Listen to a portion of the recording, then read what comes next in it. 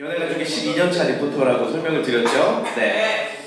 2003년도부터 여러분들이 좋아하시는 아, KBS ETV 연예정보 프로그램에 리포터로 출연을 하고 있습니다. 2003년에는 여러분들 몇 살이었어요? 8살? 초등학생. 아, 그래요. 예. 공채 국기 VJ로 2001년도에 뽑혔고 당시 제 동기가 장영란 씨. 아세요? 네 네. 장영란 씨랑 이제 1,800명이 지원을 해서 3명이 합격을 했습니다. 네.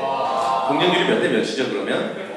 600대 1입니다. 이렇게 조심스럽게 제 자랑 해보면서, 아, 우리가 뭐 작가, MC, 제작, 감독, 이건 간에 연예계라는 바닥에 뛰어들 때 중요한 다섯 가지 쌍 기억이 있습니다.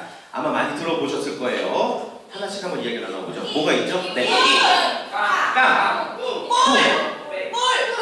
이, 깡, 꿍, 그리고 꼴, 끈 이렇게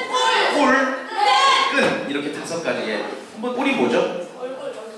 소- 소위 말해서 요거죠 요거 이제 얼굴 예. 근데 이게 뭐 잘생기고 예쁘고가 아니라 배우는 모르겠지만 좋은 표정입니다 좋은 표정 막 인상 찌푸리고 있고 막 뭐든지 불만 가득한 막 어? 그런 악플러 같은 사람들한테 여러분들이 뭐 일을 맡길 수 있겠습니까? 아니죠 항상 웃는 인상이 중요하다는 얘기고 프로 방송인들은 어, 저도 굉장히 지금 말이 빠르죠. 쉴 틈을 안 주죠. 그 이유는 프로 방송인들은 한 5초 이상 정적이 뜨면 그게 방송 사고라는 그 불안감이 있어요. 그래서 무엇, 무엇이든지 계속해서 주제를 연결하고 말을 하려고 하는 그런 습관이 있거든요. 네.